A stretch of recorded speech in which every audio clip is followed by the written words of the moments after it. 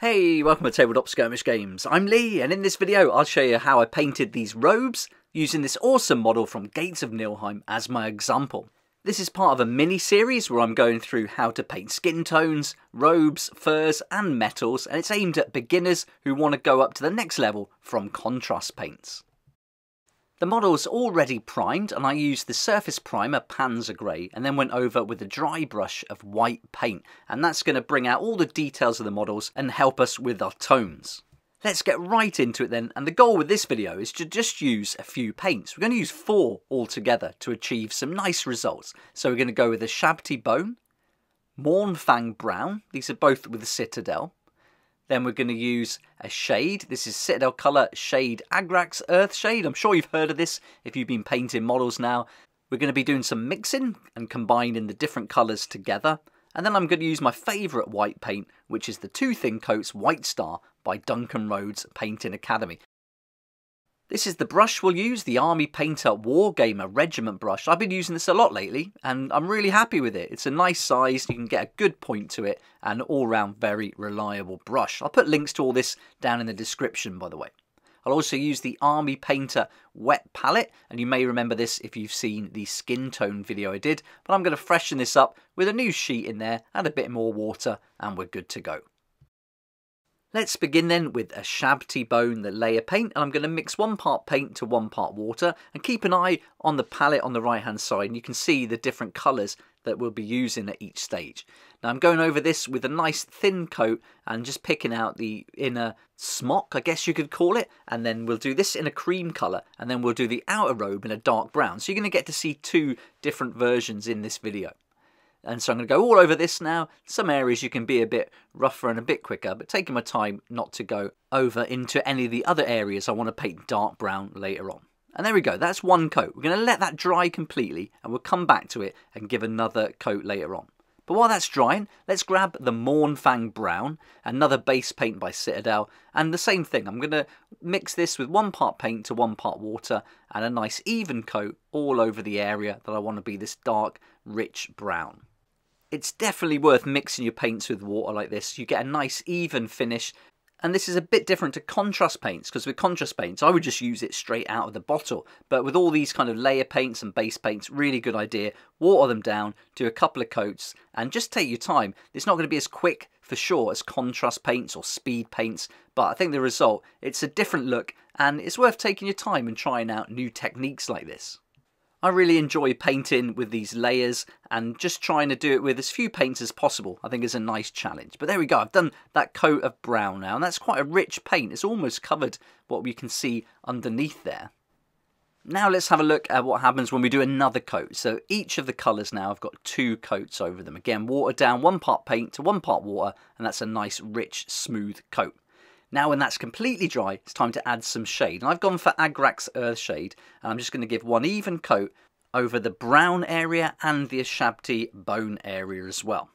These shades are going to take a little bit longer to dry than a regular paint and even a little bit longer than a contrast paint will. So you've certainly got time to move it around the model. But with so many little folds and areas here for it to pool in, you just got to be careful you don't get too much paint in any area. So use your brush to push and pull that shade around. Make sure it settles in the areas where you want it to. And if you've got too much on the brush, then and you put too much on the model, you can simply just wipe away the excess paint on a kitchen towel off of your brush and then use that brush to suck the paint back up. And I put a little bit too much on here. It's also maybe a little bit dark for this cream. I think I could have toned it down a bit but it worked out okay in the end and I think it's good just to not have to buy lots of different paints. Of course you could thin this down a little bit and so it's not quite as dark but I just went with it. Even though it was looking a little bit dark here, I just trusted the process. And later on, you'll see it kind of adds a little bit of character and grittiness to the model. So there we are. We've covered that all over now, getting right in those recesses. And then we're going to let that dry completely. And this is the effect you're looking for. So you can see where it's pooled in the deepest crevices, but that's where we're going to get the darker shadows anyway. Now we go back to our original colours. I'm going to get the Ushabti bone.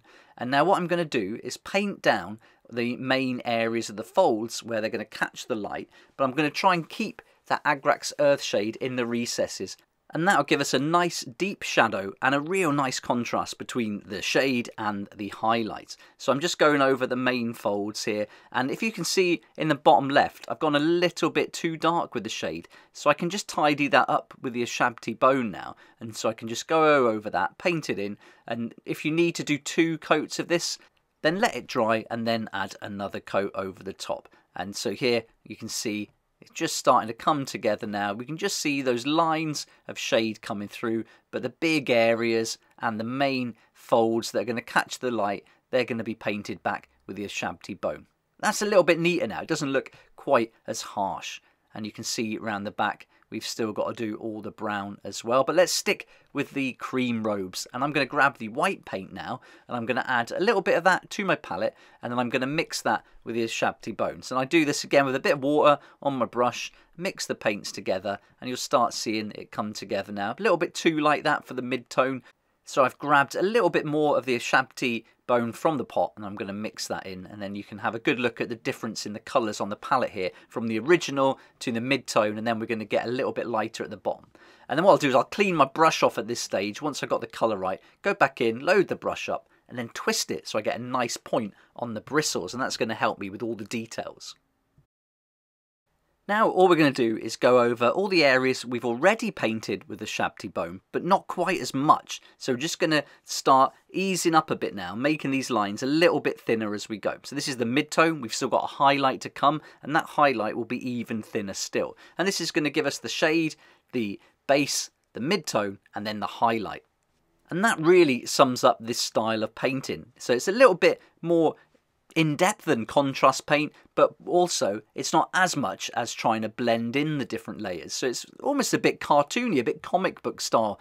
And I like that. I think it's a really nice way to paint and it's a nice happy medium between contrast paint which is really fast and then the blending which is really slow. So if you want something a little bit in between that leaves a real nice effect then I think this is a good way to go and something worth trying out and practicing. And these models from Gates of Niflheim have been perfect for me to get to learn this technique and give it a go as there's so many nice shapes and contours in there the texture of the model really does the work for me. But here we go now. I'm going for a little bit lighter now. And so I'm going to clean my brush off again, go in, twist the bristles in the paint so I get a nice point to my brush. And then now I've got, got as much paint on the brush here either. I've still watered it down, uh, but I haven't got as much. And that means I've got a little bit more control about the area. And you can see I'm having to go in and out quite a bit, always twisting the bristles and then just really taking my time to get little neat lines. And this is just a case of practicing. I certainly haven't got anywhere near as good as I should be, but really happy with that. Again, that shade is quite dark coming through, so it's a little bit abrupt. But when it's on the table, you won't notice. Okay, now I'm going to go for the brown cloak and I'm going to start with that Mournfang brown again. And it's the same process. Just pick out the main most raised areas and give that a nice coat of paint. And this looks really different now. This looks like a big contrast between the shade and the actual Mournfang brown. So you wouldn't think this was the original paint looking at it here. But just trust it, go with the process and by the time it dries it's going to calm down a little bit and kind of blend in a bit more. It's not going to be quite as defined. And here you can see that that's dried now and it's not quite as, as harsh as it looked a moment ago but you can still see the shade coming through in the recesses.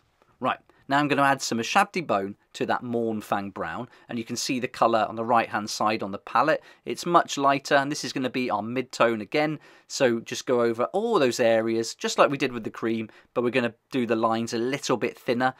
Make sure you move the model rather than yourself so you've got lots of control. I like to keep my arms on the table so I'm not shaking at all and then I've got a little bit more control. I made a bit of a mistake there. I'll show you how I just cover that up later on. But you could go back to the colour before, so I could go back to Mournfang Brown there if I wanted to, and then go over it again. But I'll just tidy it up with this mix of the two paints here. And so again, it looks kind of stripy at the moment, but it'll dry a little bit darker. But just picking out all those areas, moving that model around, and let's tidy that up now. So what I'll do is I'll just block in a little bit. It doesn't really matter. I can go over that and then make that into a nice tidy shape and then moving the model there. So I've got lots of control to go up the side of the fold there. Now we'll start to pick out all the details of the hood and then these are going to be the areas that are going to get the most light. So you find these would be the areas you go a little bit thicker when you do this technique. Right that's where we're at now. We've got the two different colors going on the back. We still need one highlight on the dark brown cloak so let's do that now Rather than adding some white to this, I'm just going to mix in a bit more of that Ushabti Bone and white mix and then add enough of the Mournfang brown until I'm happy with the highlight. Doesn't have to be super bright. You can see the difference between the three colours we've used so far. So we can go a little bit darker still as well. But this is all personal preference, just using your eye to guess how dark or how light it should be. But there we go. You can see there's a clear difference there. And again, the palette on the right should give you an idea. For this final highlight stage, it's just a case of picking out the areas that are going to get the most light going thinner again with that line, but I'm being a bit bolder on the uppermost part because I think a lot of the light is going to hit that area. But as I go down further with the cloak, I'm going a little bit thinner. And then I'm also using the side of my brush just to catch the very sharp edges. So that's really helpful. But here I'm using the tip and you can see it's quite a thin line. I haven't got the skill to make this dead neat yet. I've got a lot of practice to do yet and a long way to go.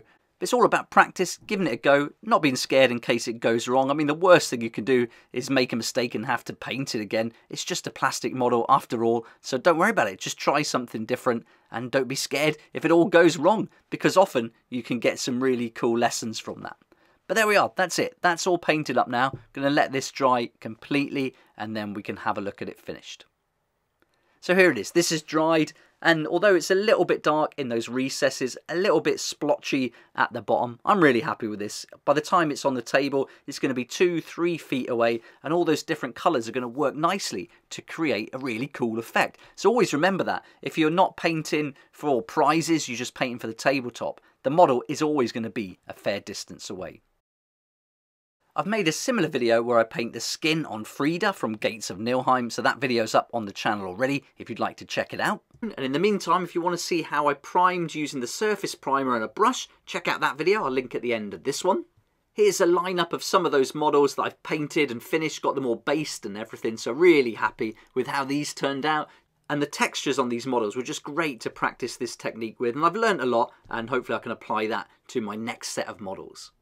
You can also see how I painted Bjorn the Viking all the way through. So I did every element in that one video. And I've also done an unboxing of the prototype if you want to find out more about the game and a demo let's play where I do a slow guided playthrough just to give you an idea of one of the tutorial scenarios and how the game plays. And if you want to find out even more, head over to Gates of Niflheim on GameFound. It's live at the moment. It's got, what, nine days left to go as I'm making this video. It's had a fantastic start and it'd be great if we can all go there and help support it and unlock some of those new add-ons. So that'd be awesome.